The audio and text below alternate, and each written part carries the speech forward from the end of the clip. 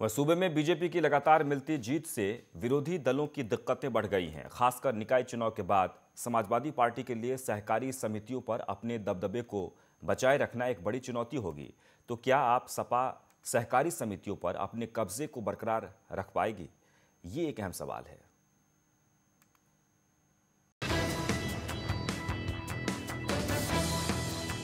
2014 में लोकसभा, फिर 2017 में विधानसभा।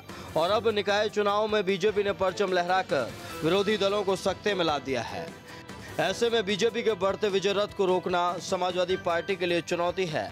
और अब आने वाले सहकारी समितियों के चुनाव में समाजवादी पार्टी अच्छा प्रदर्शन करना चाहेगी।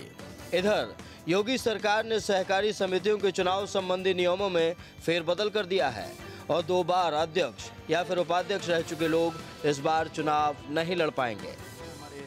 हमारे सहकारिता प्रकोष्ठ ने भारतीय जनता पार्टी के ने सदस्यता अभियान किया और हम लोगों ने प्राथमिक स्तर पर सभी समितियों में भारतीय जनता पार्टी के कार्यकर्ताओं को सदस्य बनाया है।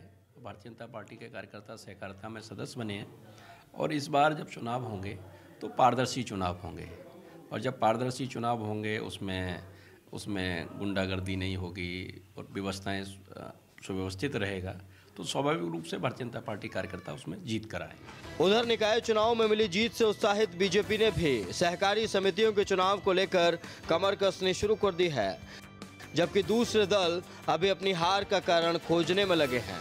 फ़िलहाल सहकारी समितियों पर शुरू से समाजवादी पार्टी का दबदबा रहा है।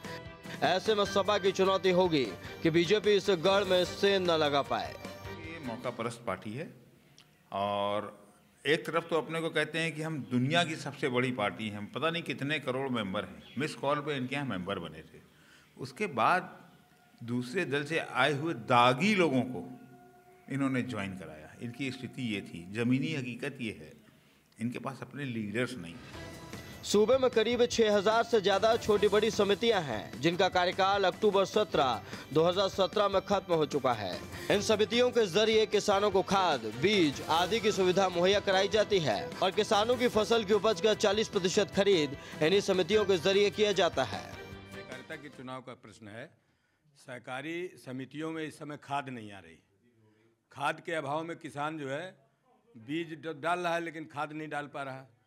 और सरकार इस समय लगी हुई है चुनाव में। नगर पंचायत के चुनाव में सारे मंत्री के सब लगे हुए हैं, अधिकारियों को भी लगाए हुए हैं, सोसाइटीज़ में खाद नहीं है तो जब जब भारतीय जनता पार्टी आई है, सहकारी आंदोलन निश्चित रूप से कमज़ोर हुआ है। एक तरफ़ पीसीएफ की बागडोर चेयरमैन शिवपाल यादव के बेटे आदित्य के हाथों में है तो खुद शिवपाल यादव सहकारी ग्राम्य विकास बैंक लिमिटेड के चेयरमैन पद पर काबिज हैं।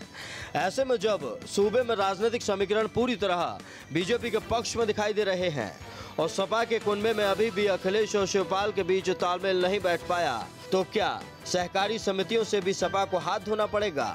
ये एक बड़ा सवाल है।